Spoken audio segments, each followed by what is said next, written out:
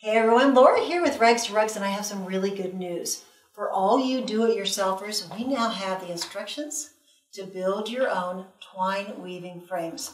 Three different sizes, placemat size, the deluxe rug size, and the table runner size.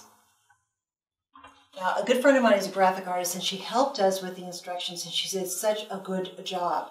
Very clear, very easy to understand.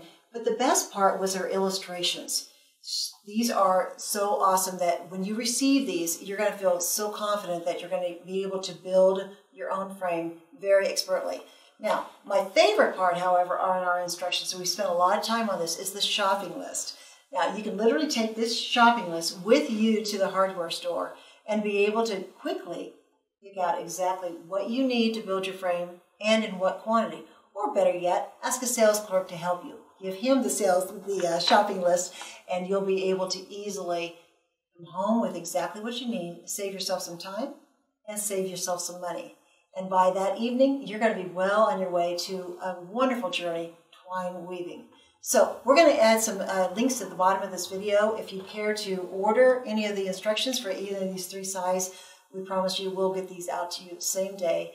And the only thing we ask, send us a picture of your finished rug made on your wonderful frame. So, as always, thank you so much for checking out our YouTube channel and make it a great day.